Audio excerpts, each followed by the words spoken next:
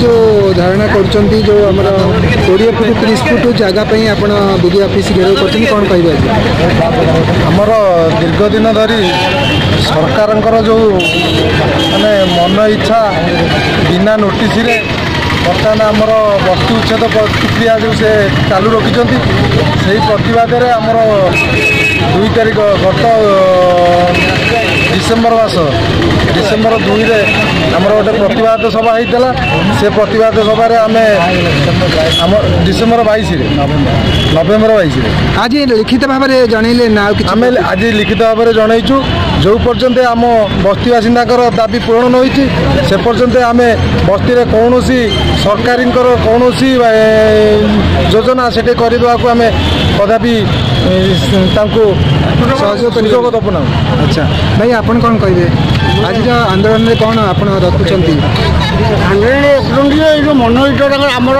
ଯେଉଁ ବାଇଶ ତାରିଖରେ ଆମେ ଯାଇଥିଲୁ ରାଲିରେ ଆମକୁ ମନ୍ତ୍ରୀ କହିଥିଲେ ଯେ ବର୍ତ୍ତମାନ ଆଞ୍ଚଳିକ କମିଟି ଟିକେ ଆଲୋଚନା କରିକି ଆମେ ଯାହା କରିବୁ। ସେ ଆଲୋଚନା ନ କରି ତାଙ୍କର ବଳପୂର୍ବକ ନେଇକି ଯାଇକି ସାଧାରଣ ଯେଉଁ ଭାଙ୍ଗିବା ପାଇଁ ବ୍ୟବସ୍ଥା କରୁଛନ୍ତି ଆମେ କଦାପି ତାଙ୍କୁ ଭଙ୍ଗେଇ ଦେବୁ ନାହିଁ। ଏହା ହେଲା କଥା ଆଉ କ'ଣ? ଭାଇ ଆପଣ ଭଲ କଥା ଭାଇ ଆଜିର ଯେଉଁ ଦାବି ପତ୍ରଟା ଦେଲେ କ'ଣ ଥିଲା ଆପଣଙ୍କର? ଦେଖନ୍ତୁ ପ୍ରଥମ କଥା ହେଲା ସାଲିଆ ସାହି ଅଞ୍ଚଳ ଜଙ୍ଗଲ କିସମ ଜାଗା। ଜଙ୍ଗଲ କିସମ ଜାଗାର ଓଡ଼ିଶା ସରକାରଙ୍କର କିଛି ଅଧିକାର ନାହିଁ। ଯାହାକି ସେ ଯେଉଁଠି ବସ୍ତି ହେଇଛି ଜଙ୍ଗଲ କିସମ ଜାଗା ଜଙ୍ଗଲ ଜମି ଟୁରେ ସେଠି ଅଧିକାର ନାହିଁ ଓଡ଼ିଶା ସରକାରଙ୍କର ସେଠି ଉଚ୍ଛେଦ କରିବା ପାଇଁ।